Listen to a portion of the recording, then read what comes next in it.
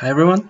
In this video, I will show you how to code a trading robot with Python and how to run it through the MetaTrader 5 platform. This trading robot uses the simple moving average crossover. It buys when the candle closes above the moving average and sells when the candle closes below the moving average. On this chart, we can see the price on EURUSD. The blue line represents the simple moving average. When the candle closes above the blue line, it is a buy signal when a candle closes below the blue line, it is a sell signal. This is the code to create the simple moving average crossover strategy. We import MetaTrader 5, Pandas, Datetime, and Time for this code. To make our life easier, I've created functions such as market order, which takes the symbol, volume, and order type as parameters.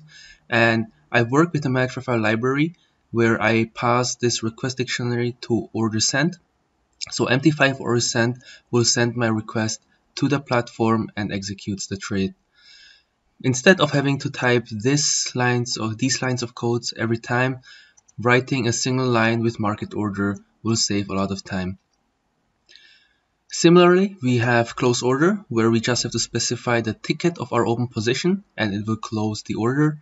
So what this function does is it looks through all our positions and if there is a position that contains this ticket ID that's passes parameter, it will then create this request dictionary and pass it to order send to close this position. Otherwise, if this position does not exist, it will return ticket does not exist. Also, I've created a function to get the exposure for a certain symbol.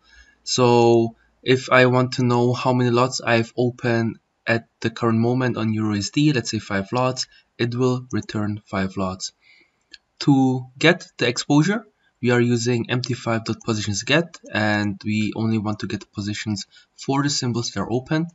And then if there are any positions, I'm using pandas data frame to go through the volume column and I'm summing up the exposure.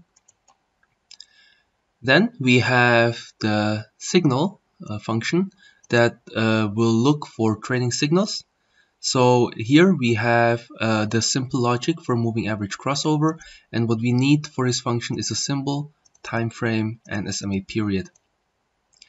To get the simple moving average, we first need the candlestick data or the bar data. For that, I'm using mt5.copyRates from pos and this returns a number of candles based on the position. So it returns the candlestick data for this symbol, this time frame, and we're starting with the candle position 1. And then here's the number of candles I want to request, and here we need the number uh, equal to the SMA period. Then I'm passing this data into a pandas data frame, and from that I'm calculating the last close of the bar.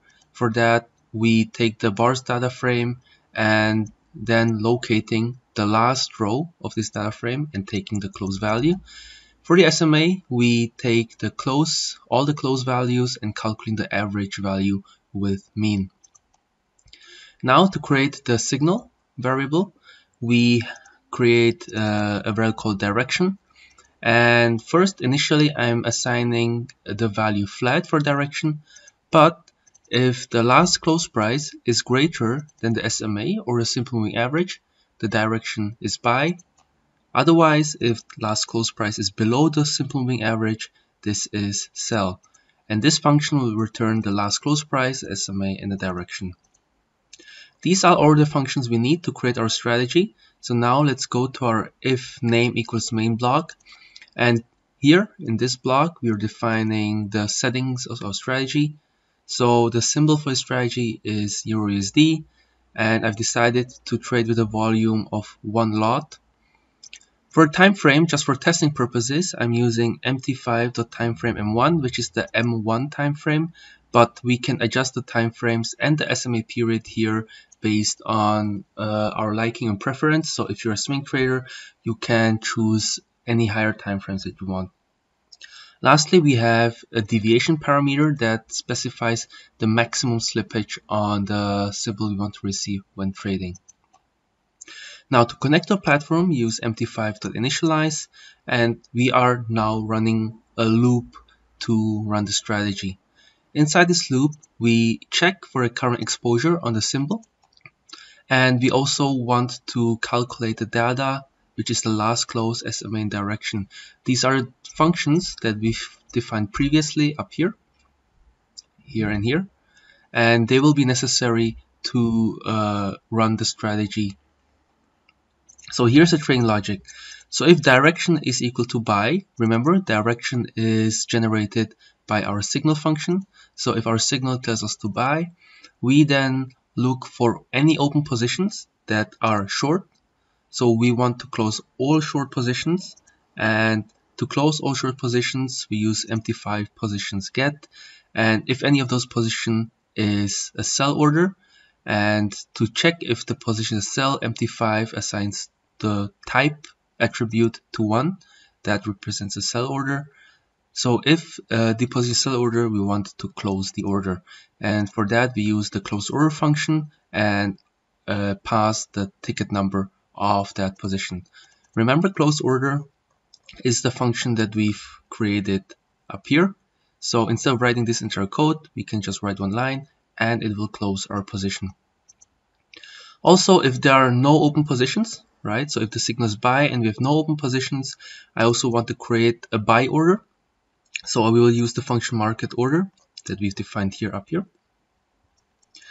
And if there are no open positions, then this market order order will open a position on the symbol that we've defined, which is USD, with the volume 1.0 and with the direction which is buy in this case.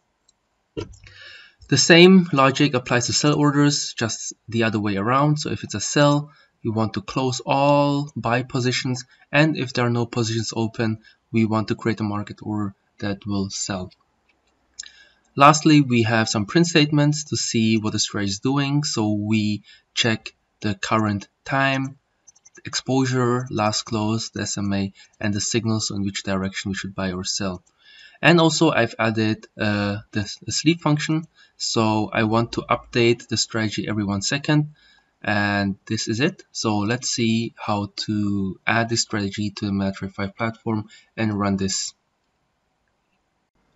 When your code is ready, log into your MT5 training account. In my case, I'm logged into IC Markets SC demo. And to start a strategy, make sure that algo trading is enabled. And now to run the script, we simply open our command prompt and go to the location where our Python file is located.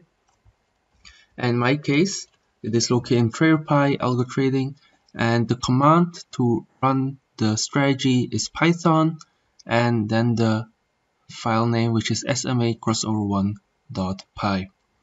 So when we run this, now we see that the strategy is running and we are looping to check for new signals. And if you've noticed, we have a new position open, which is short because currently price is below the simple moving average. This is it for a video. Please like and subscribe if you've enjoyed it. If you have any trading ideas or strategies to be coded in Python, please add them to the comment section and I'll review it to make a potential video. Thank you for watching.